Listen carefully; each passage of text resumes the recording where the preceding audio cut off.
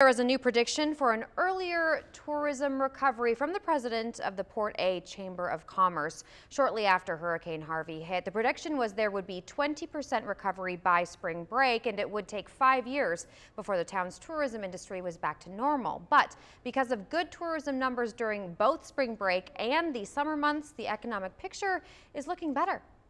We're, we're almost a year into our recovery, and I think we're further along than most other destinations of our type that have been impacted by Cat 4.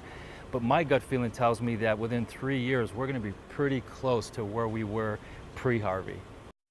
But for people who live in Port A, the numbers are still dismal. Figures from the city show at least 30% of homes, or about 80, still need repairs or rebuilding.